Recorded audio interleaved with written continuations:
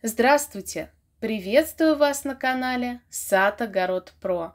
Всего одна капля и черенки все в корнях.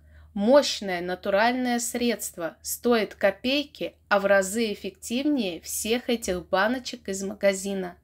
Делаю легко и просто своими руками. От души делюсь рецептом с вами, не забудьте записать. Это экологически чистый стимулятор роста – по качеству лучше стимуляторов из магазина и нужна всего одна капля этого. А рецепт такой. Я беру пару веток ивы.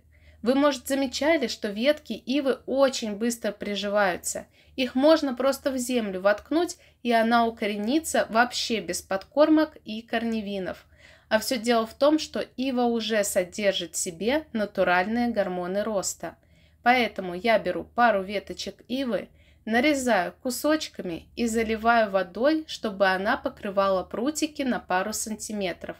На медленном огне провариваю полчаса, процеживаю, добавляю ложку меда, размешиваю и переливаю в бутылочку, храню в холодильнике. А перед использованием добавляю такого отвара всего одну каплю на литр воды.